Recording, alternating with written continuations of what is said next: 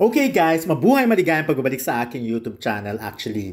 Natuwa lang ako talaga sa post na ito ni Ogie, uh, Ogie Alcacid of course na nasa Amerika nga para mag-concert dahil yung kilabutitos nila ni Ian Veneracion. At and syempre, hindi niya pinalampas ang pagkakataon na makita ang kanyang kumare, si Chris Aquino. And of course, although walang picture si, so far ha, ah, si Ogie nakasama si Chris, mas pinost na nga itong kasama niya si Joshua at si Bimbi. So eto nga ang sabi ni Ogi. So uh, actually after reading this, babasahin ko rin yung mga messages ng iba pang mga netizens. Talagang puring-puri nila si Ogi Alcacid. Ano? Talagang ibang klase nga naman makapagkaibigan. Talagang very loyal. Talaga kung ano, hindi nang iiwan sa ere. But anyways, eto nga ang kanyang sabi. It was so great to see Joss and Bimbi today.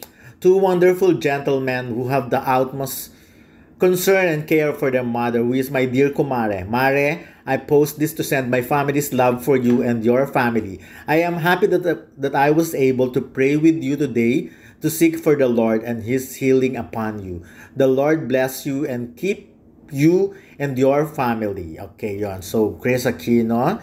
And Ayun, so pinagdasal niya si ano, si si Ogie talaga ay isang madasalin ding tao talaga. I remember uh, every time na nakakausap namin siya laging may mga ganon. So, anyways, at syempre, ang reaction ng mga netizens at mga ka- kaibigan nila, um, si, si Melay, uh, Melay Cantiveros na sabi niya, aw at nagpaulan ng tatlong heart. Ganon din si Darla. Was so happy finally. Nagtagpo kayo, Kuya O.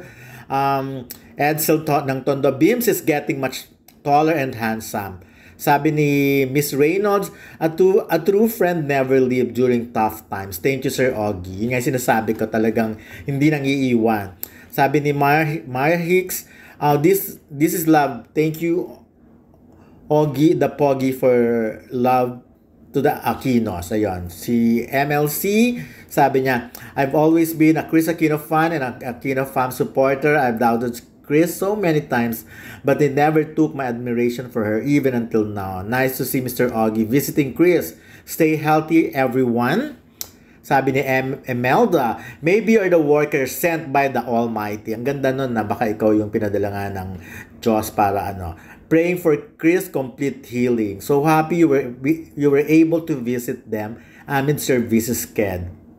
Yeah. Wow, Bimbi is getting taller and looking so handsome and could just look like he lost some weight na. Thank you, Augie. Miss Chris, get well soon. Ayan. Okay, so lovely seeing this. A true friend indeed. Thank you, Sir Augie, for the love, healing, and happiness. Ayan. Mark, si Mark Levis, of course, nagpakawala ng tatlong kulay, uh, tatlong dilaw na puso. But anyways, ayun na nga, ang nakakatuwa dito, yun nga, yung talagang, syempre si Chris hindi rin naman siya nakakatangga o tumatanggap din ng marami bisita. Actually, marami akong kakilala na pagpunta ng Amerika gusto nga makakausap si Chris. Pero syempre, alam naman natin ang kondisyon ni Chris. Hindi naman siya yung pwedeng ganun. But this time, dahil kumpare niya si Augie, talagang, ayan, bongga. Hindi talaga siya. Bongga ito, yun na lang mas